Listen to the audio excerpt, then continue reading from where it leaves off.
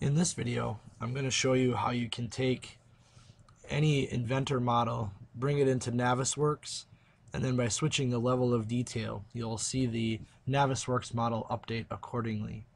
The first step in this process is to come up to the Navisworks application menu, choose Options, look at your file readers, find Inventor, and make sure you check this box that allows you to load the assembly with the last active representation. Go ahead and hit OK.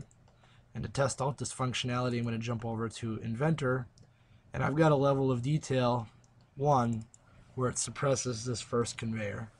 So I'll save that, bring it over to the Navisworks model, and then I'll simply refresh the model. So after a moment or two, we'll see that the model updates and we have indeed suppressed the component. Hope this is helpful and have a great day.